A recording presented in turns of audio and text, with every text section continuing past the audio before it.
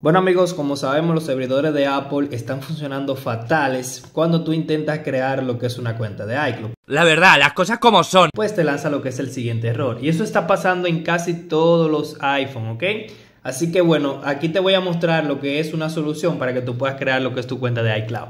Así que bueno, también recuerda que nuestro grupo de Telegram estará ahí en el primer comentario fijado para que entres en caso de que tenga más inconvenientes. vamos por parte. Mira, por ejemplo, si tú tienes un iPhone que es muy viejo ya, como un iPhone 6, iPhone 7, pues hay varias opciones. Por ejemplo, puedes utilizar lo que es la aplicación de música. Cuando la abras, la aplicación de música, le vas a dar acá.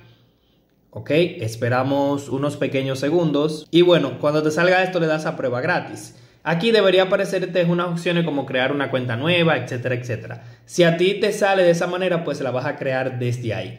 Ahora bien, para los iPhones que son más modernos, como puedes ver, a mí no me sale esa opción.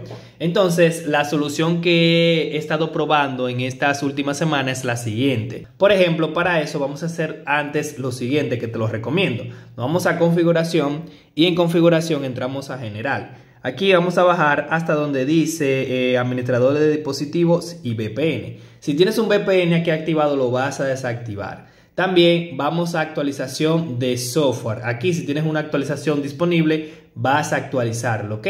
Como puedes ver a mí me sale una actualización disponible pero yo no lo voy a actualizar ahora.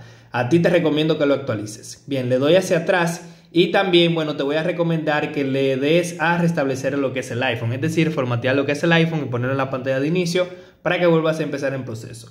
Entonces, haciendo eso, vamos entonces a abrir lo que es nuestro navegador y ahora en nuestro navegador vamos a entrar a esta web, la cual te la voy a dejar en la descripción del video también, que sería apple.appleid.com y entramos a ir, le damos a ir y aquí nos manda lo que es la página oficial de Apple.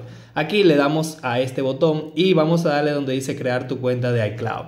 Esta es una solución que está funcionando de momento, así que espero que a ti te funcione. Aquí pues simplemente vamos a rellenar nuestros datos como nombre, apellido, país, fecha de nacimiento, contraseña, eh, nuevamente lo que es el número de teléfono, etcétera, etcétera. Bien, aquí en el tema de la fecha de nacimiento, yo te recomiendo poner una fecha de nacimiento que no sea tan reciente. Por ejemplo, te recomendaría del año 1999 hacia abajo para que te la puedan aceptar de una forma más rápida. Así que aquí voy a poner lo que es el día, mes, y pues la fecha de nacimiento. Como te recomendé, puedes poner una fecha que no sea tan reciente. Aquí vamos a poner lo que es nuestro correo para que nos llegue lo que es el código de verificación.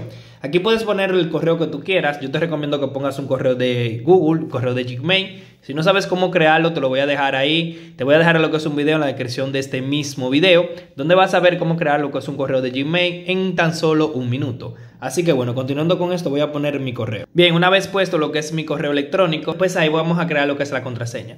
Otra recomendación, en caso de que tú hagas todos los pasos y hayas, bueno, buscado por todas partes y no te funcione de toda forma, mi otra recomendación o solución definitiva sería probar eh, o hacer la cuenta en otro iPhone y, luego, y ya luego que la hagas pues la pasas a tu dispositivo. También otra opción sería cambiar de número telefónico, es decir, probar con otro número de la tarjeta SIM o probar con otro correo, ¿ok?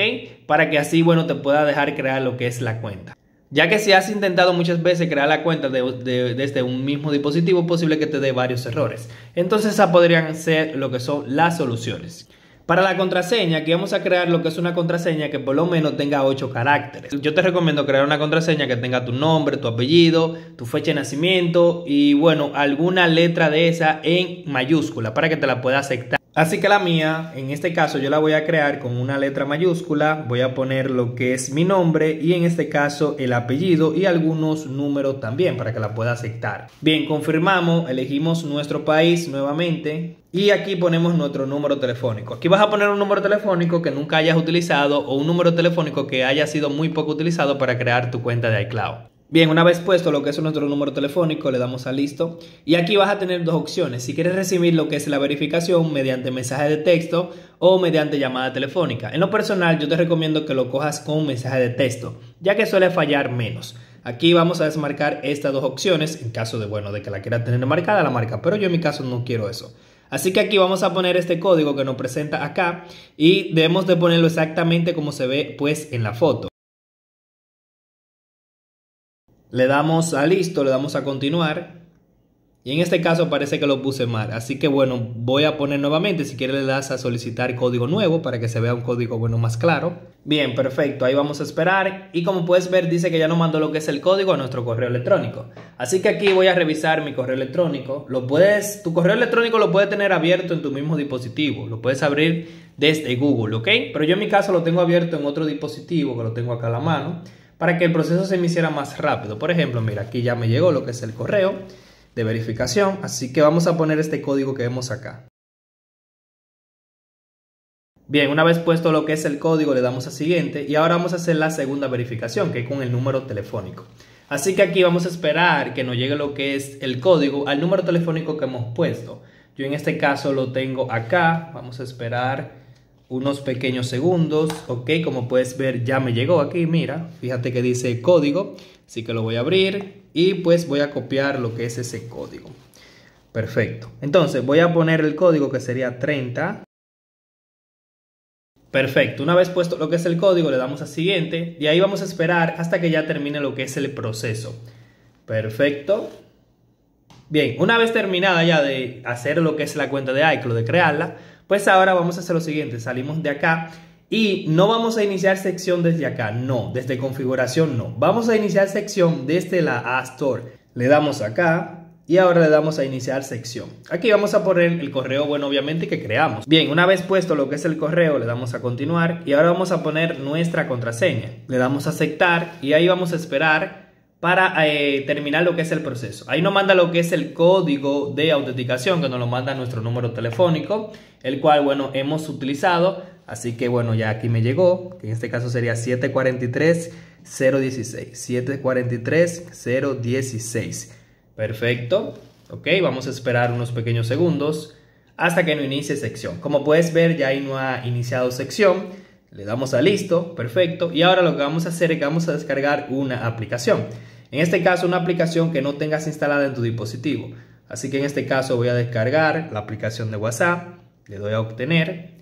Y ahora nos falta hacer lo que es el paso de la verificación. Le damos a instalar. Y aquí ponemos nuevamente lo que es nuestra contraseña. Le damos a conectar.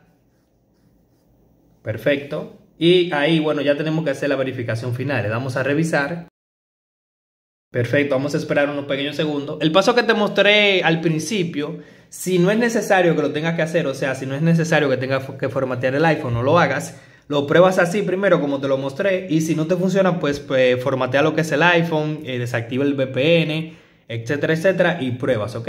No es necesario que formatees el iPhone si te funciona. Si no te funciona, pruebas formateándolo.